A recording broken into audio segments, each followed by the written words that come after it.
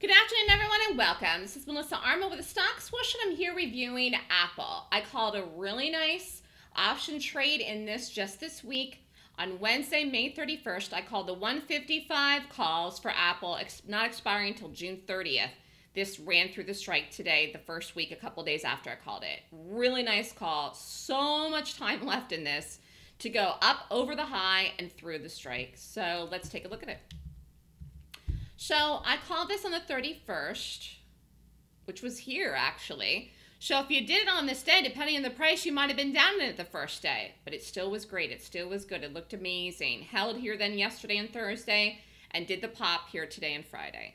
Boy, this, so, you know, again, the next target will be 156, the previous high. This could even get to 160. It's got a month, a month left to go. So, so much time to go left on this went through the strike two days after I called it. Another another great call I made. Huge call and a great eye to see it even before it happened. So I looked at this and called it here.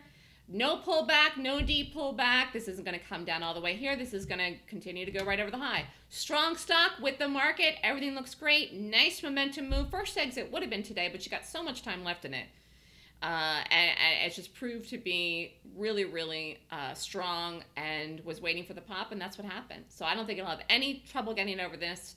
Who knows when it'll be, but a month left in this. It's a nice move.